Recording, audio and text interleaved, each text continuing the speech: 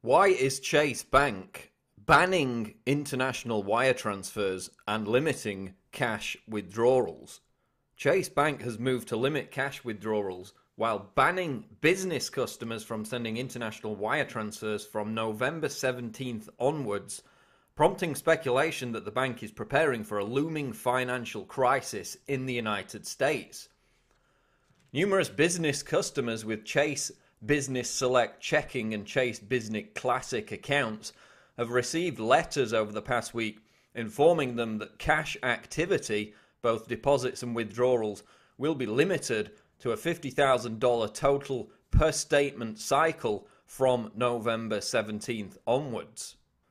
The letter reads Dear business customer, starting November 17, 2013, you will no longer be able to send international wire transfers you will still be able to send domestic wires and receive both domestic and international wires. We'll cancel any international wire transfers, including recurring ones you scheduled to be sent after this date.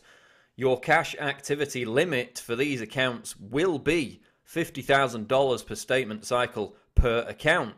Cash activity is the combined total of cash deposits made at branches, night drops, and ATMs and cash withdrawals made at branches, including purchases of money orders and ATMs.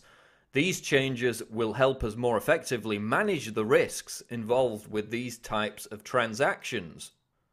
Another letter, which you can read in the InfoWars article, received by Peak to Peak Charter School, a college in Colorado, states that the option to send both international and domestic wire transfers has been withdrawn from Chase Business Savings account holders.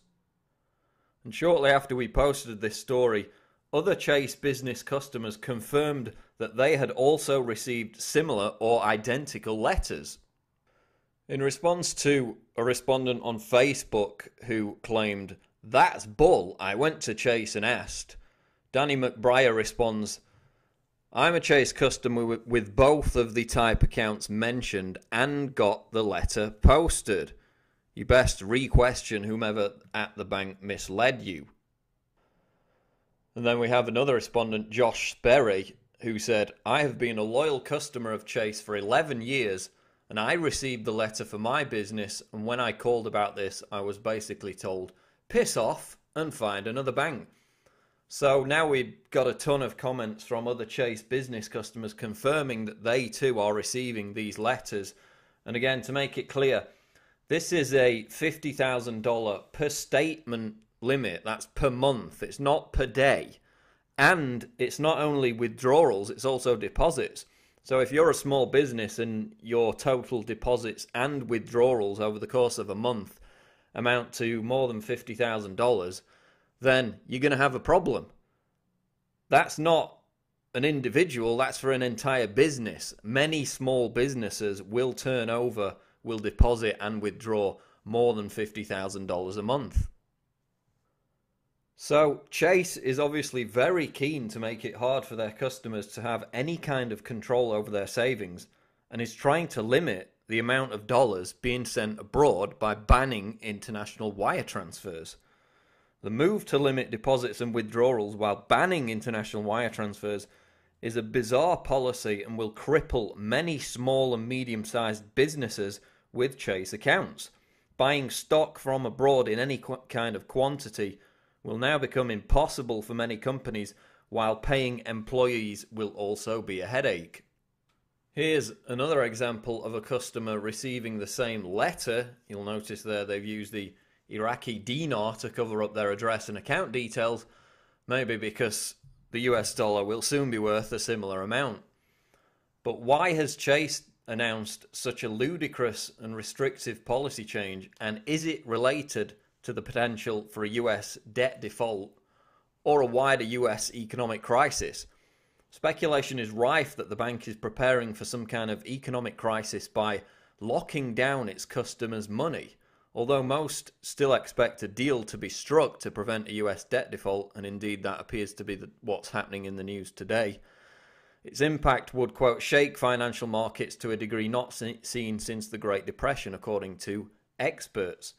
Others fear the move to restrict international wire transfers is part of a plan to protect against a near future collapse of the US dollar.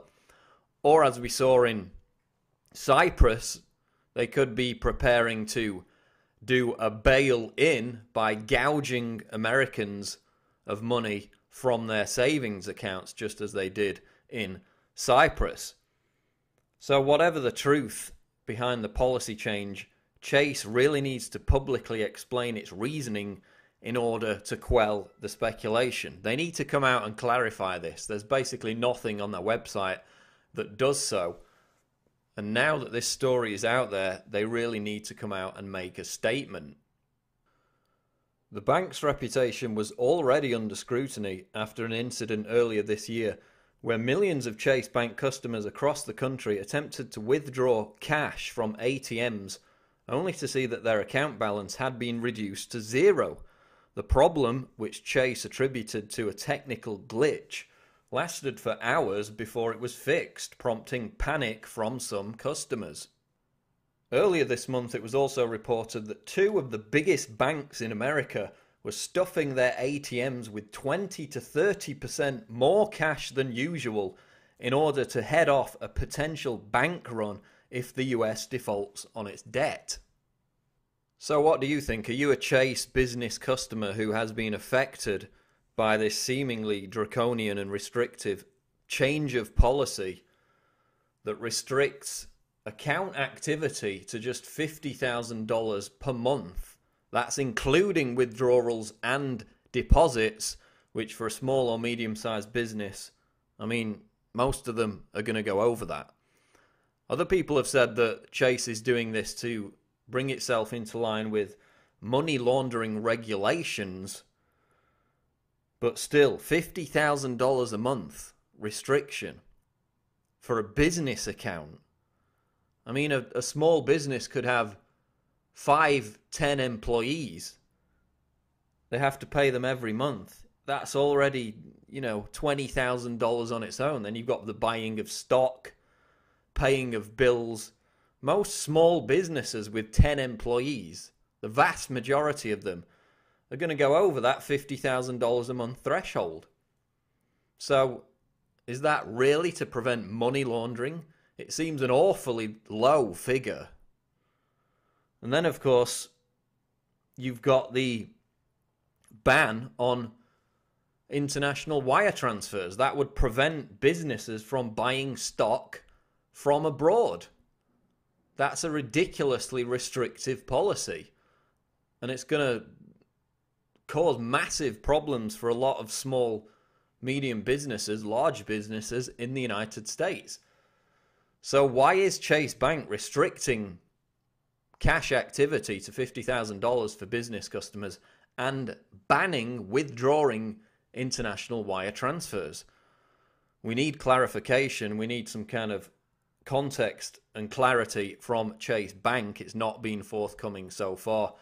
Let me know if you're a Chase business customer or if you've seen this similar kind of policy change at your bank, if it's a different bank, in the comments below. We'll continue to track this breaking story. This is Paul Joseph Watson reporting for Infowars.com.